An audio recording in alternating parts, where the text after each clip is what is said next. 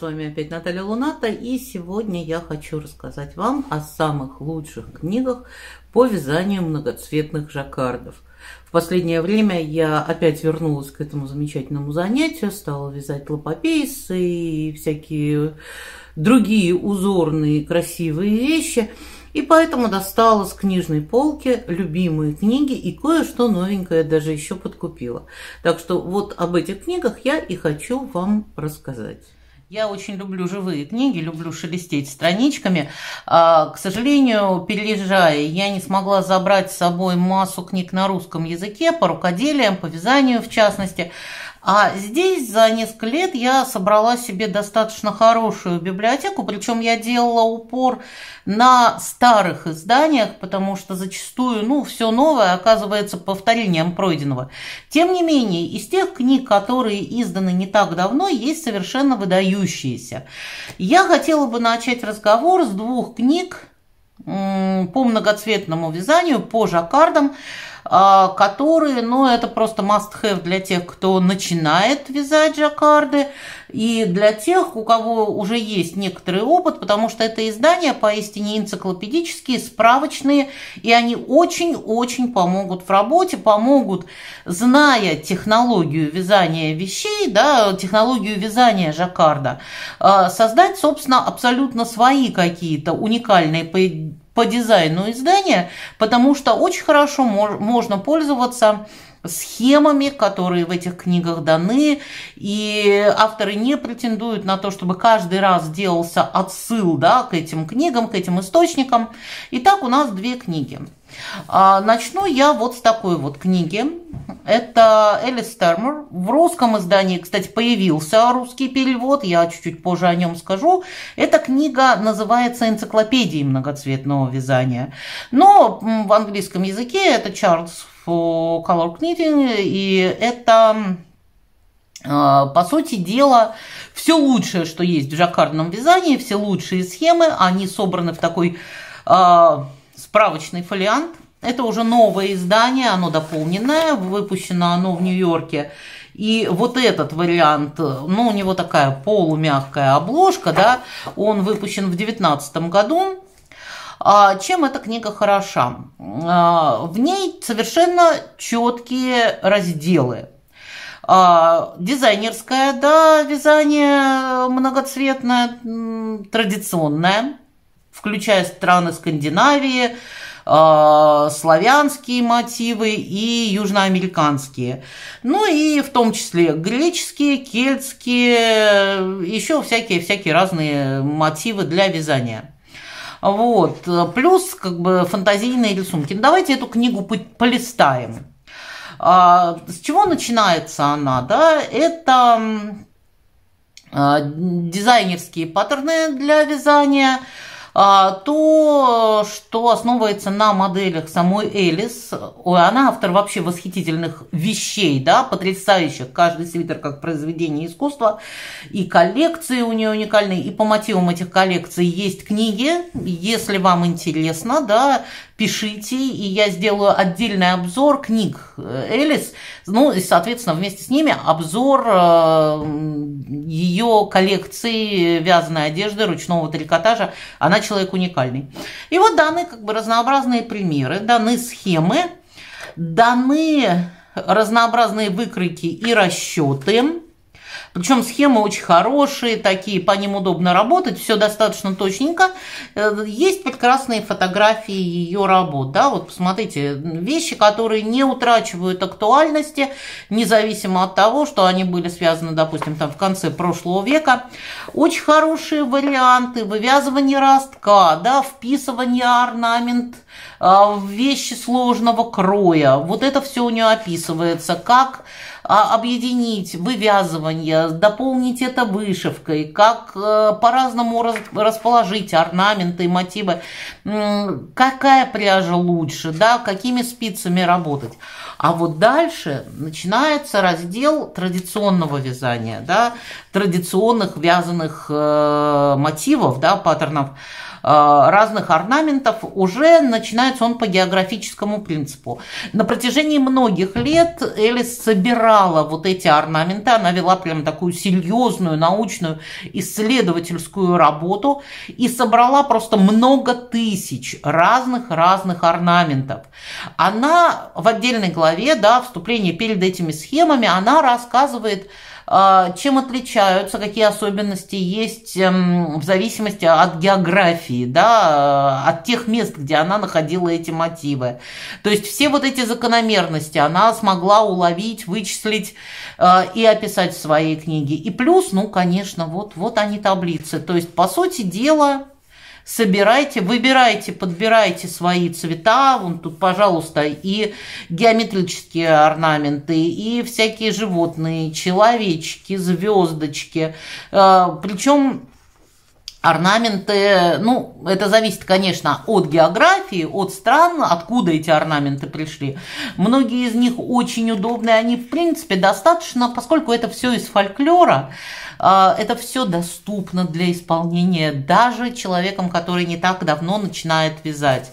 Ну, совершенно разные, разные страны, да, то есть это то, чем можно украсить, ну, даже самую, казалось бы, простую по крою, да, по конструкции трикотажную вещь. Кстати, эти мотивы можно и просто для вышивки использовать.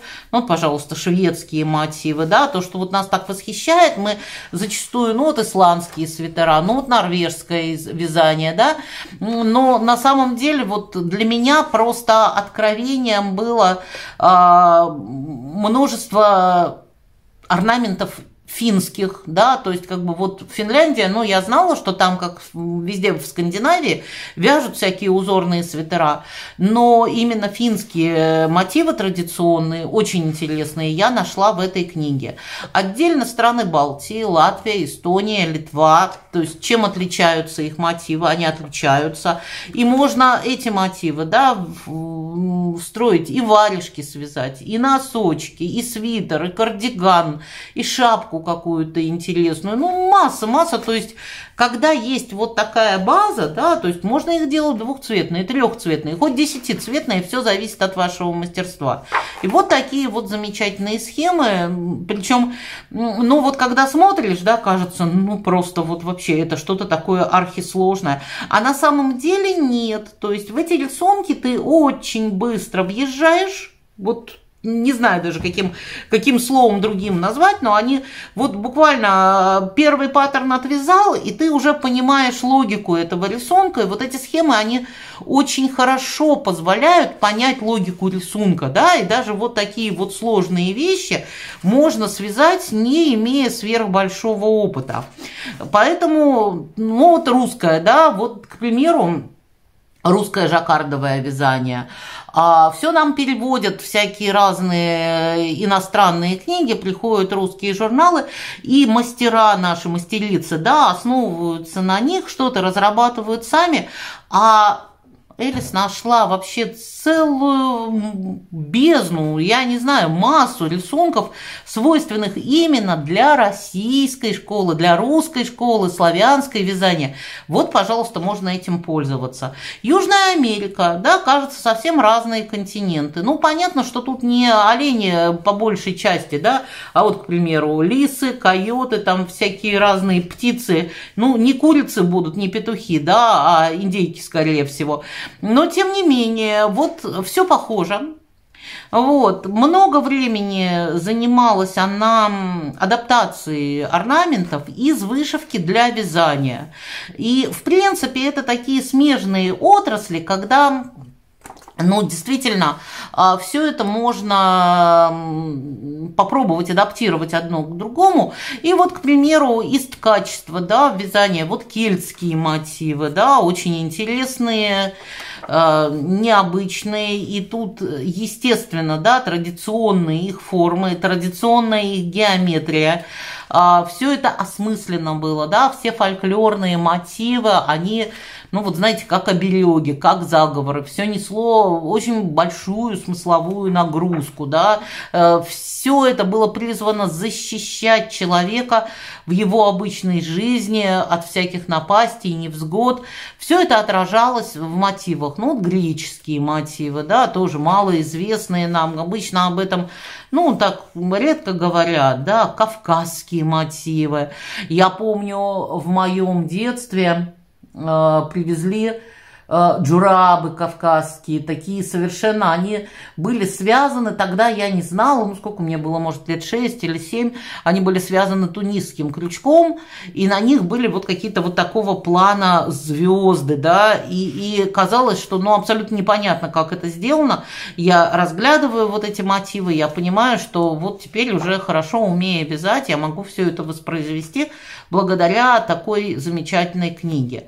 Ну, в общем, короче, можно смотреть тут и, и э, запад и восток э, Европы, и азиатские орнаменты, разнообразные жаккарды, которые могут заполнить просто целиком полотно каким-то совершенно невиданным рисунком. То есть все это э, из фольклорных традиционных закромов. То есть все это можно совершенно запросто использовать. И дальше, как следствие, на базе вот этих вот огромных прекрасных находок, находок, а, археологических отчасти, да, а, Элис продолжает историю а, созданием вот таких вот дизайнерских мотивов. То есть у нее есть цветы и птицы, да, вот первый раздел, листочки разнообразные, веточки.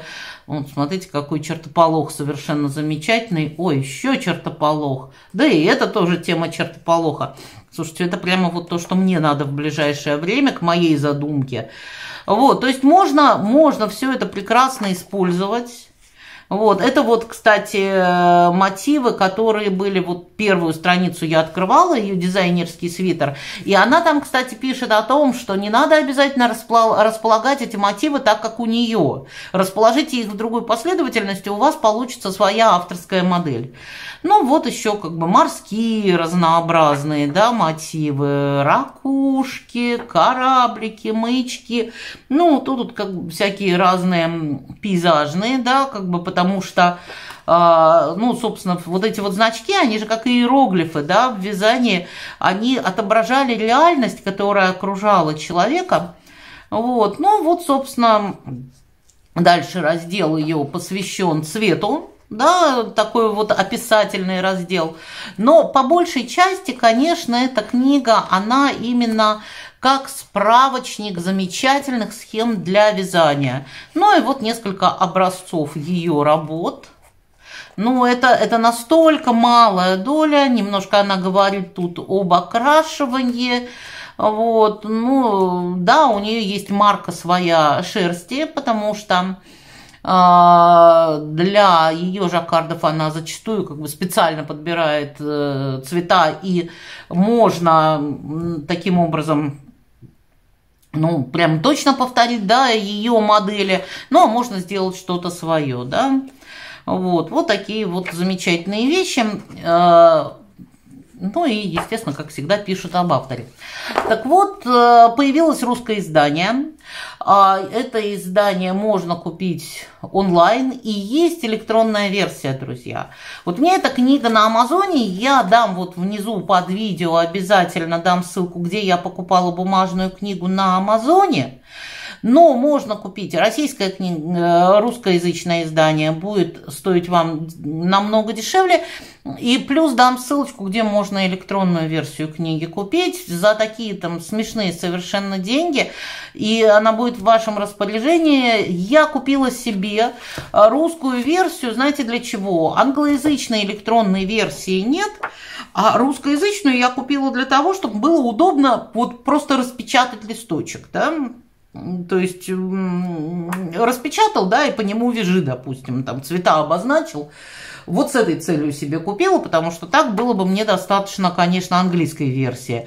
Но, в принципе, как бы, да, если средства хочется сэкономить, вот за, за по-моему, ну, в районе 300 рублей стоит электронная версия этой книги – дорогие мои, она стоит того, потому что это действительно, это такая сокровищница, это фантастически полезная книга, фантастический ресурс. Это вот Элис э, Стармор, потрясающий автор. А, и вторая книга, о которой я хочу рассказать сегодня, это вот такая вот яркая книжечка, тоже у нее такая полужесткая обложка. Это уже тоже дополненное издание, по-моему, переиздали они его ну, дай бог памяти, в каком-то то ли 18 году, потому что было более старое. Вот первое издание было 11 года. Вот это издание, оно как бы дополненное, ну, конечно, получше печать, да, как бы. Это сборник схем а, вот таких вот жаккардов знаменитого э, вязания многоцветного. А, Мэри, Джен, Мэри Джейн э, Маклстон автор.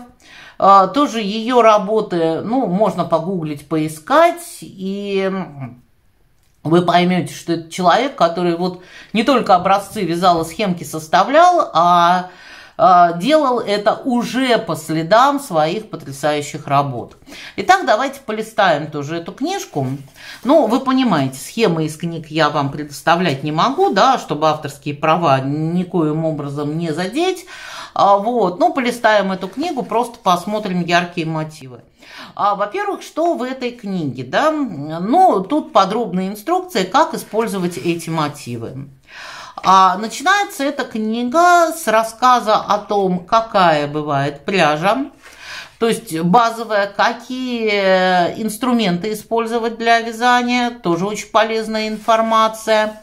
Как правильно вывязывать мотивы, да, все про протяжки, про перекруты, то есть вот это все есть. Технические моменты, то есть, по сути дела, фото-мастер-класс, как вязать жаккардом, тоже особенно для, для новичков это актуально.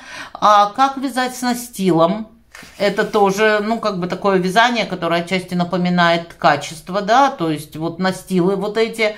Ну, в общем, все-все вот это вот очень подробненько, очень основательно. Все есть в книжке, как обрабатывать изделия. По теории цвета очень хороший раздел, как подбирать грамотно цвета. То есть она на базе цветового круга все это рассказывает. Вот. Ну и, конечно, дальше уже построение выкройки.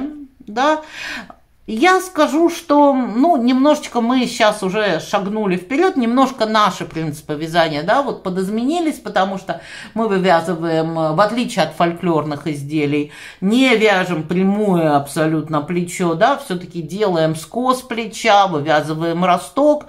Ну, вот, вот этого, в принципе, нету.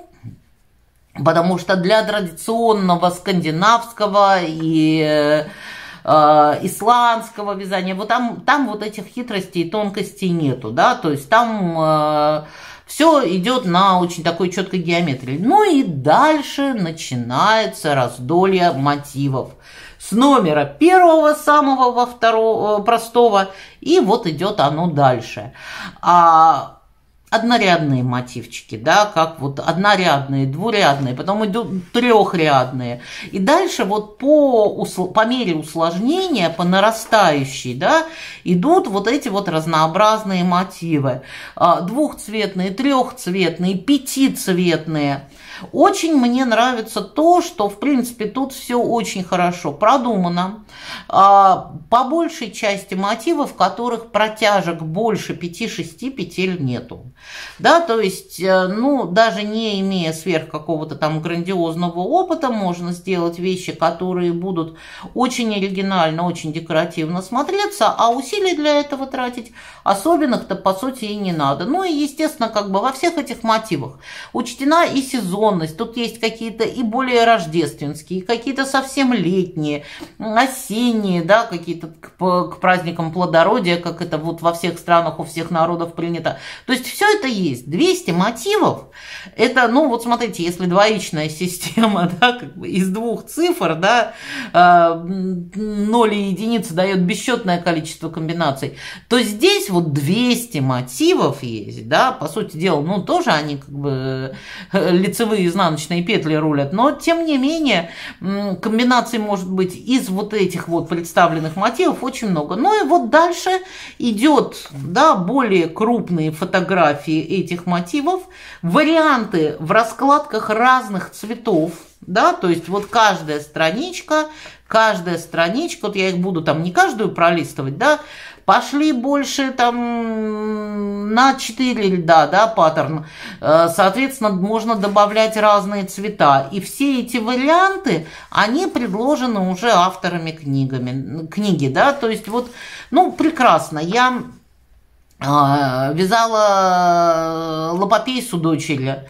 Э, не хотела, она у меня художник, и, ну, как бы вещи, вот она бы не стала носить то, что по какому-то там уже общему описанию, как у кого-то точно, да. И я ей просто составила из этих вот орнаментов Э, то, что вот будет только-только у нее одной, да, повторение уже такой лопопейсы не будет ни у кого.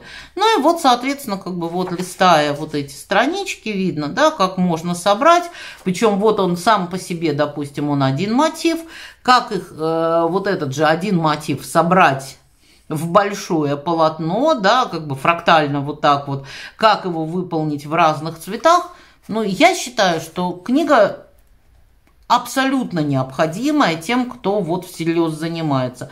Ну и вот пошли более сложные мотивы, да. А, опять же, один мотив а, собран в полотно, в одном цвете, в другом цвете, то есть, ну, прекрасно, надо было мне, наверное, указочку взять, я так пальцем показываю. Но вот, вот, вот вся она, вся книга построена вот так, вот как справочник, вы сами понимаете, какие вещи можно на базе этой книги связать. Да, причем инструкции в начале есть и как мерки снять, и как выкройки построить, как посчитать по образцу, да, то есть вот и влажно-тепловая обработка, все есть. То есть взял такую книгу по крупному счету, если ее всерьез освоить, станешь мастером вязания жаккардов. Я думаю, многим это будет очень интересно. Ну вот смотрите, какие снежинки, да, тоже великолепие просто. Один паттерн, полотно, да, фрактальное, и вот, пожалуйста, в разных цветах. Великолепно, просто великолепно. Обожаю эту книгу. И опять-таки очень всем нам повезло. Эта книга в русском переводе, абсолютно легальное лицензионное издание.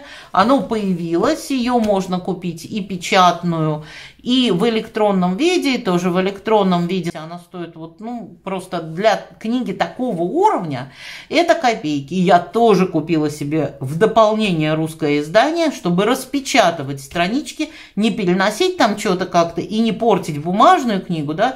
Я себе распечатываю странички, на них что-то отмечаю, мне это очень удобно, именно когда компонуешь дизайн вот нового отдельного такого изделия. Так что вот, сегодня я надеюсь, что вам было интересно послушать про эти две книги. А, пожалуйста, пишите, комментируйте, задавайте как можно больше вопросов я буду на них оперативно отвечать. Если какие-то специальные книги, о которых, ну, может быть, э, я не планировала рассказывать, но они вас интересуют, вы найдете что-то, э, тоже пишите, я постараюсь о них рассказать. Может быть, что-то есть просто в моей библиотеке, и я с полочки книжной это сниму. А может быть, я закажу такую книгу у нас в библиотеке, потому что у нас это достаточно несложно сделать. Э, ресурсы библиотечные в Канаде огромные стороны, и тогда я вам все это расскажу, пошелестим вместе страничками, полюбуемся. Если вам такой формат нравится и интересен, Пожалуйста, ставьте лайки. Не нравится, конечно, можете ставить дизлайки. Я тоже это учту. Но обязательно подписывайтесь для того, чтобы не пропускать новые видео. Потому что помимо книжных обзоров, я все-таки э, и о процессах э, рассказывать планирую больше. И делать э, обзоры проектов с подробными описаниями, как, что, да, всех тонкостей, как я работаю. Ну и просто даже приятно пообщаться. Всего вам доброго, всего хорошего и побольше времени на наши любимые занятия.